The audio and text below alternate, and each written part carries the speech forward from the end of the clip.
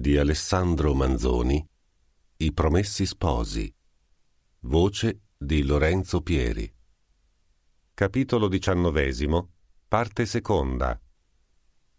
Un grande studio, una grand'arte di gran parole metteva quel signore nel maneggio d'un affare, ma produceva poi anche effetti corrispondenti. Infatti, col colloquio che abbiamo riferito, riuscì a fare andare fra Cristoforo a piedi da Pescarenico a Rimini, che è una bella passeggiata.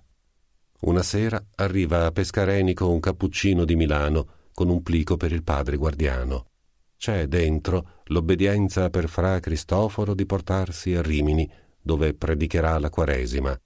La lettera al guardiano porta l'istruzione di insinuare al detto frate che deponga ogni pensiero d'affari che potesse avere avviati nel paese da cui deve partire e che non vi mantenga corrispondenze. Il frate latore deve essere il compagno di viaggio.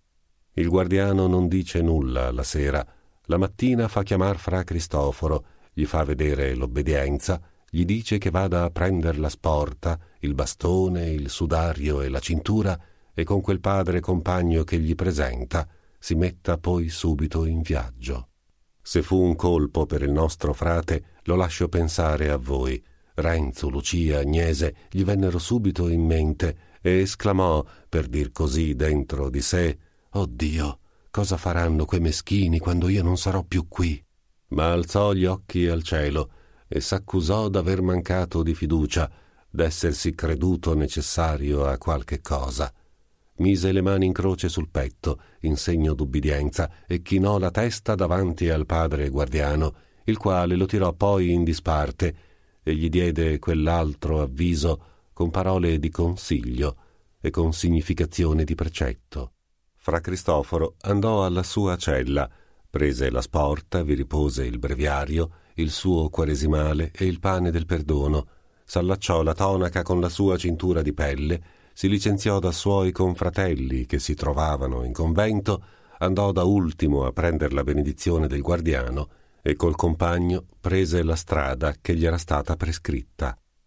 Abbiamo detto che don Rodrigo, intestato più che mai di venire a fine della sua bella impresa, s'era risoluto di cercare il soccorso d'un terribile uomo. Di costui non possiamo dare né il nome, né il cognome, né un titolo, e nemmeno una congettura sopra nulla di tutto ciò, cosa tanto più strana che del personaggio troviamo memoria in più d'un libro, libri stampati, dico, di quel tempo. Che il personaggio sia quel medesimo, l'identità dei fatti non lascia luogo a dubitarne, ma per tutto un grande studio a scansarne il nome, quasi avesse dovuto bruciar la penna, la mano dello scrittore,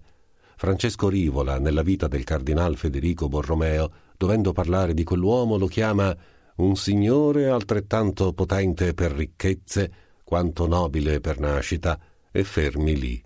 Giuseppe Ripamonti, che nel quinto libro della quinta decade della sua storia patria ne fa più distesa menzione, lo nomina uno, costui, colui, quest'uomo, quel personaggio, Riferirò, dice nel suo bel latino da cui traduciamo come ci riesce, il caso d'un tale che essendo de primi tra i grandi della città, aveva stabilita la sua dimora in una campagna situata sul confine e lì, assicurandosi a forza di delitti, teneva per niente i giudizi, i giudici, ogni magistratura, la sovranità. Menava una vita affatto indipendente, ricettatore di forusciti, foruscito un tempo anche lui, poi tornato come se niente fosse. Da questo scrittore prenderemo qualche altro passo che ci venga in taglio per confermare e per dilucidare il racconto del nostro anonimo, col quale tiriamo avanti.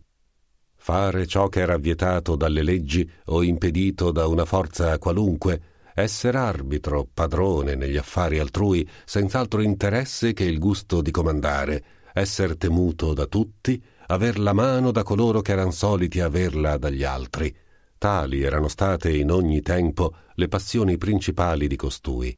Fino dall'adolescenza allo spettacolo e al rumore di tante prepotenze, di tante gare, alla vista di tanti tiranni, provava un misto sentimento di sdegno e di invidia impaziente. Giovine e vivendo in città, non tralasciava occasione, anzi n'andava in cerca, d'avere a che dire co più famosi di quella professione, d'attraversarli, per provarsi con loro e farli stare a dovere o tirarli a cercare la sua amicizia. Superiore di ricchezze e di seguito alla più parte, e forse a tutti d'ardire e di costanza, ne ridusse molti a ritirarsi da ogni rivalità, molti ne conciò male, molti n'ebbe amici, non già amici del pari, ma, come soltanto potevan piacere a lui, amici subordinati, che si riconoscessero suoi inferiori, che gli stessero alla sinistra. Nel fatto, però, veniva anche lui a essere il faccendiere, lo strumento di tutti coloro. Essi non mancavano di richiedere nei loro impegni l'opera d'un tanto ausiliario. Per lui tirarsene indietro sarebbe stato decadere dalla sua reputazione, mancare al suo assunto, di maniera che per conto suo e per conto d'altri tante ne fece che non bastando né il nome, né il parentado, né gli amici, né la sua audacia a sostenerlo contro i bandi pubblici e contro tante animosità potenti, dovette dar luogo e uscir dallo Stato. Credo che a questa circostanza si riferisca un tratto notabile raccontato dal Ripamonti. Una volta che costui ebbe a sgomberare il paese, la segretezza che usò, il rispetto, la timidezza furon tali. Attraversò la città a cavallo, con un seguito di cani a suon di tromba, e passando davanti al palazzo di corte, lasciò alla guardia un'imbasciata di impertinenze per il governatore. Nell'assenza non ruppe le pratiche, né tralasciò le corrispondenze con quei suoi tali amici, i quali rimasero uniti con lui, per tradurre letteralmente dal Ripamonti, in lega occulta di consigli atroci e di cose funeste. Pare anzi che allora contraesse con più alte persone certe nuove terribili pratiche, delle quali lo storico summentovato parla con una brevità misteriosa. Anche alcuni principi esteri, dice, si valsero più volte dell'opera sua per qualche importante omicidio e spesso gli ebbero a mandar da lontano rinforzi di gente che servisse sotto i suoi ordini. Finalmente, non si sa dopo quanto tempo, o fosse elevato il bando per qualche potente intercessione, o l'audacia di quell'uomo gli tenesse luogo di immunità, si risolvette di tornare a casa e vi tornò di fatti, non però in Milano, ma in un castello confinante col territorio bergamasco, che allora era, come ognun sa, stato veneto.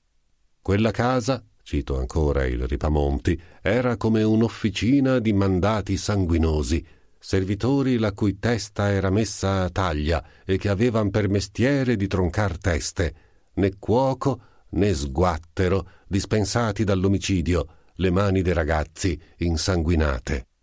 Oltre questa bella famiglia domestica, n'aveva, come afferma lo stesso storico, un'altra di soggetti simili, dispersi e posti come a quartiere in vari luoghi de due stati, sul lembo de quali viveva, e pronti sempre a suoi ordini.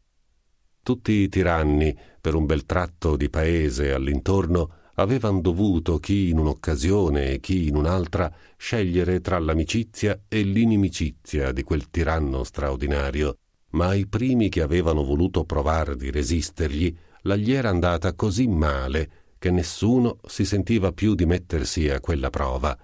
e neppur col badare a fatti suoi, con lo stare a sé, uno non poteva rimanere indipendente da lui.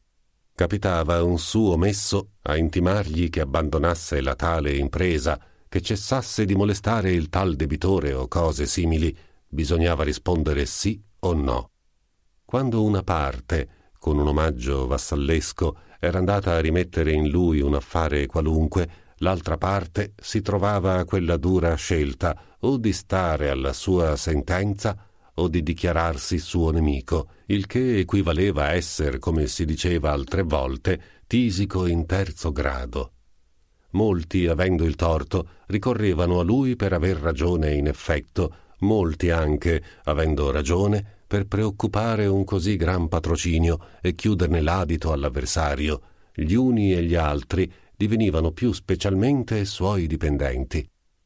Accadde qualche volta che un debole oppresso, vessato da un prepotente, si rivolse a lui e lui, prendendo le parti del debole, forzò il prepotente a finirla, a riparare il malfatto e a chiedere scusa. O se stava duro, gli mosse tal guerra da costringerlo a sfrattar dai luoghi che aveva tiranneggiati, o gli fece anche pagare un più pronto e più terribile fio.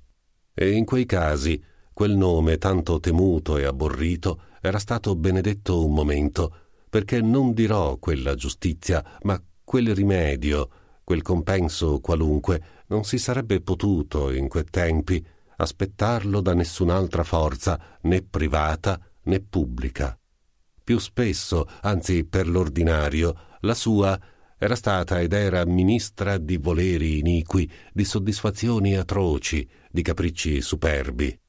ma gli usi così diversi di quella forza producevano sempre l'effetto medesimo di imprimere negli animi una grande idea di quanto egli potesse volere e eseguire in onta dell'equità e dell'iniquità, quelle due cose che mettono tanti ostacoli alla volontà degli uomini e li fanno così spesso tornare indietro.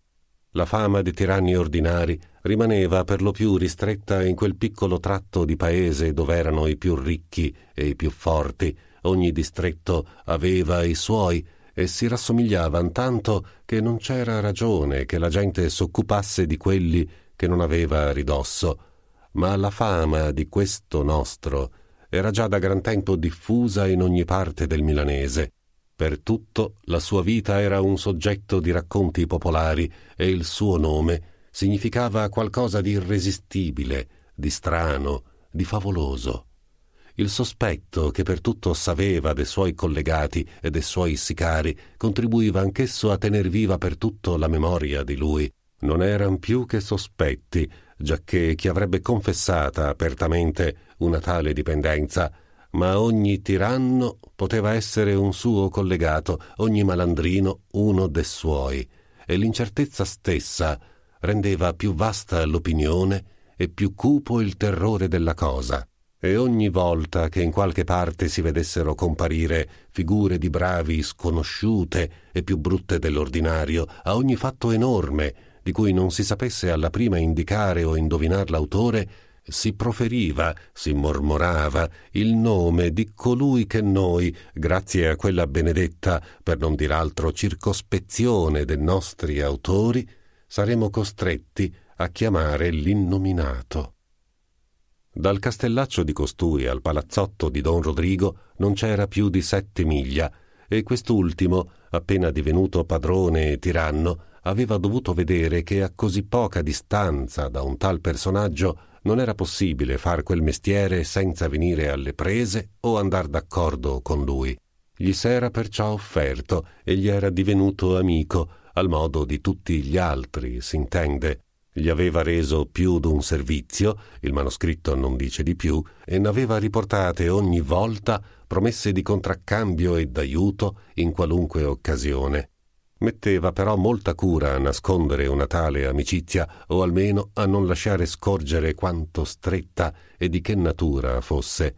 Don Rodrigo voleva bensì fare il tiranno, ma non il tiranno salvatico. La professione era per lui un mezzo, non uno scopo. Voleva dimorar liberamente in città, godere i comodi, gli spassi, gli onori della vita civile e perciò bisognava che usasse certi riguardi, tenesse di conto parenti, coltivasse l'amicizia di persone alte, avesse una mano sulle bilance della giustizia per farle a un bisogno traboccare dalla sua parte o per farle sparire o per darle anche in qualche occasione sulla testa di qualcheduno che in quel modo si potesse servir più facilmente che con l'armi della violenza privata.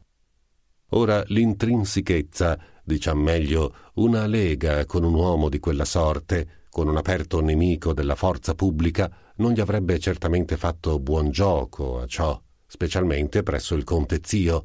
Però quel tanto d'una tale amicizia che non era possibile di nascondere poteva passare per una relazione indispensabile con un uomo la cui inimicizia era troppo pericolosa, e così ricevere scusa dalla necessità, giacché chi ha l'assunto di provvedere e non ha la volontà o non ne trova il verso, alla lunga acconsente che altri provveda da sé fino a un certo segno a casi suoi, e se non acconsente espressamente, chiude un occhio. Una mattina don Rodrigo uscì a cavallo, in treno da caccia, con una piccola scorta di bravi a piedi, il griso alla staffa e quattro altri in coda, e s'avviò al castello dell'innominato.